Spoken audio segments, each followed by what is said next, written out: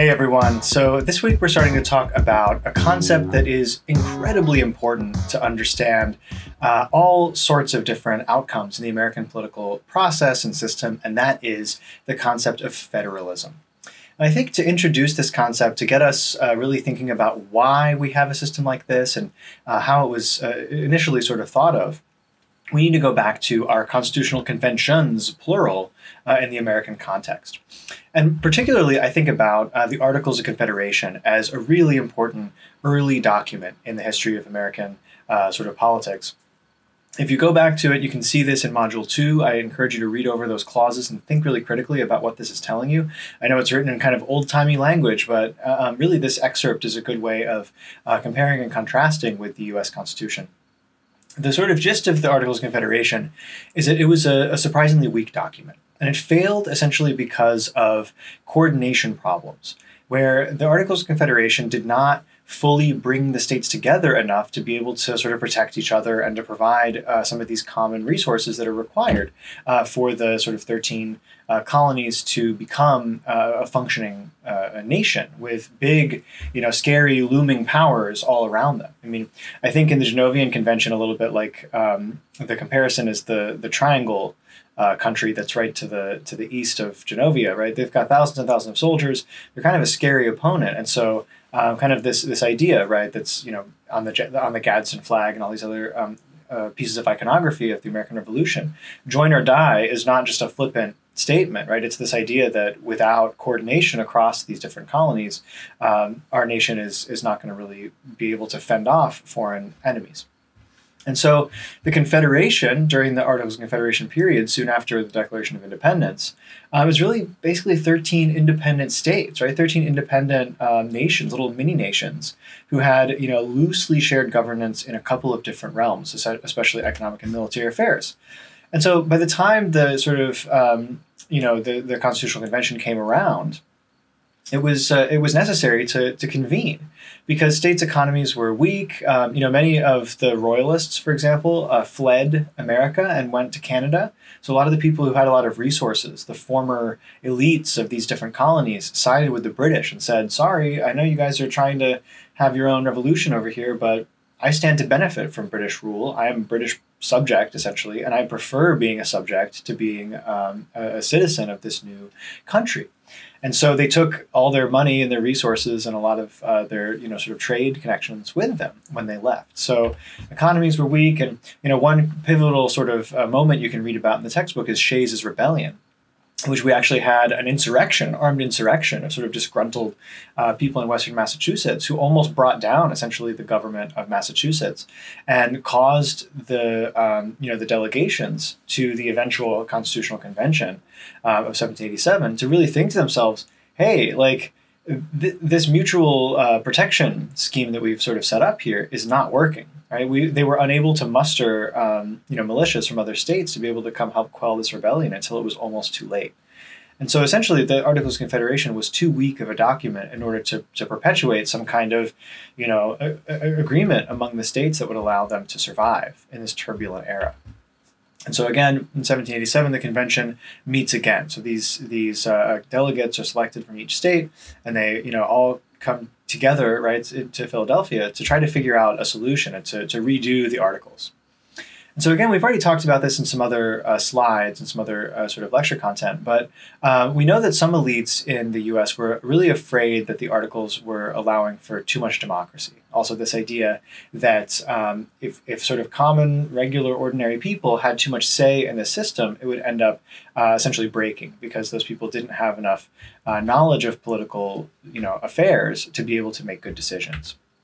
Uh, and so part of this effort was to also sort of try to central, central, centralize and concentrate power uh, among some of the, the elite interests in each of these uh, states. And so we have this this uh, setup, right? This this opposition. Um, I know many people think of the the framers of the Constitution or the so-called founding fathers as all being sort of completely homogenous and getting together and saying, ah, we'll draft a document that we'll all be able to sign. Take a few days to write it all out because we were using pens and quills, and we'll get it done. And this is going to be this sort of enduring document that we think is going to be perfect.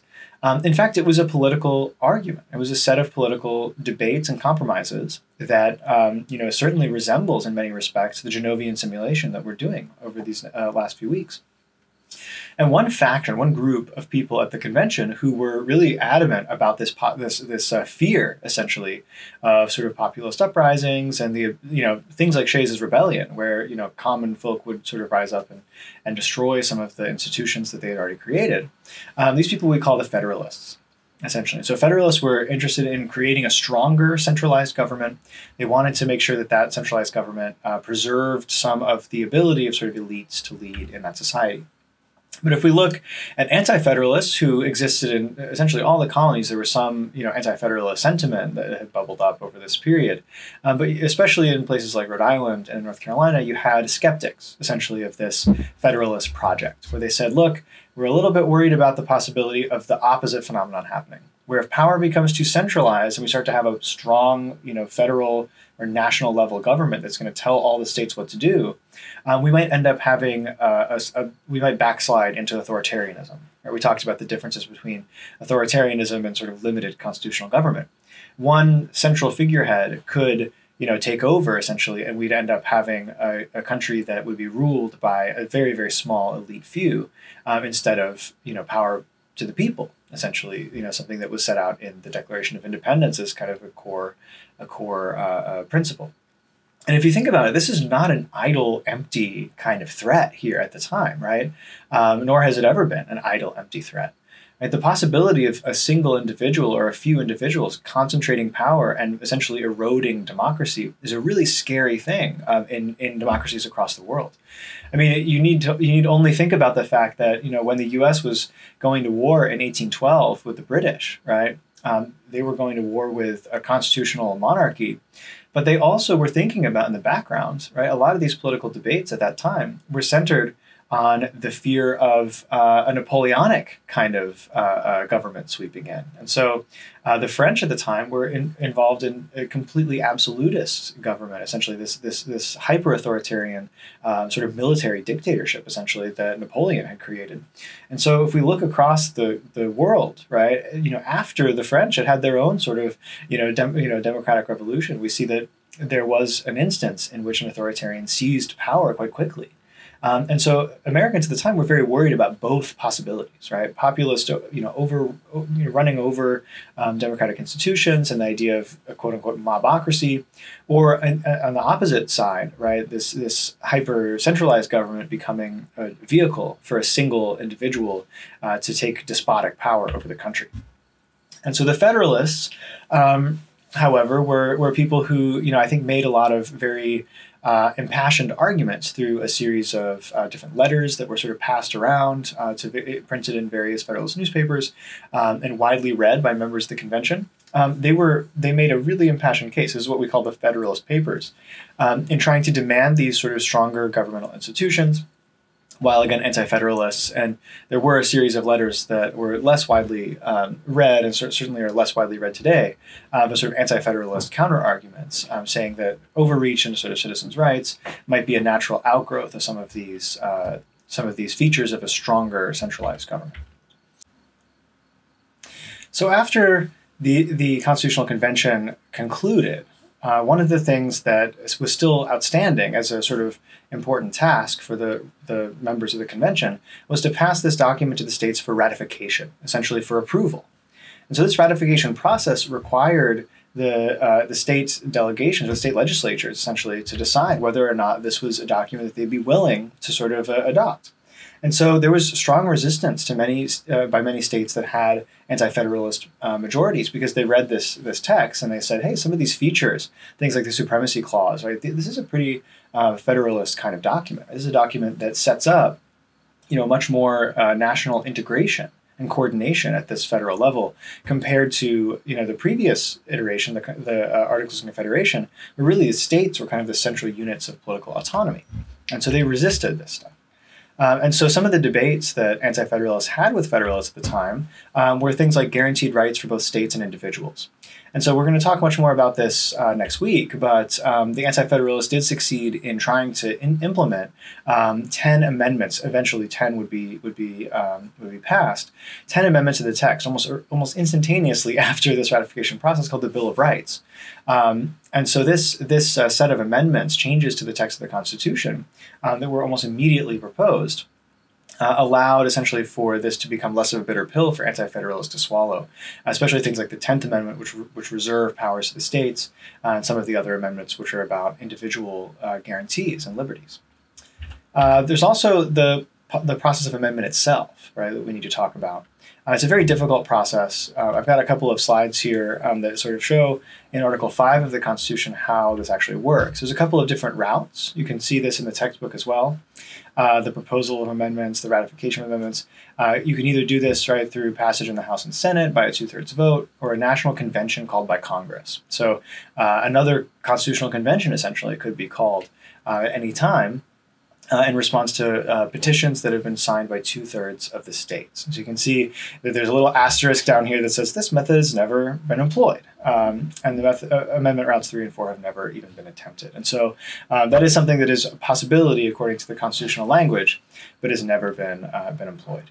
And so this uh, amendment process, right, the, the, beginning routes one and you know one and two, essentially beginning through passage in the House and Senate by two thirds vote, mm-hmm. essentially the way that the Constitution has been amended uh, thus far. So just a, a minor detail about that.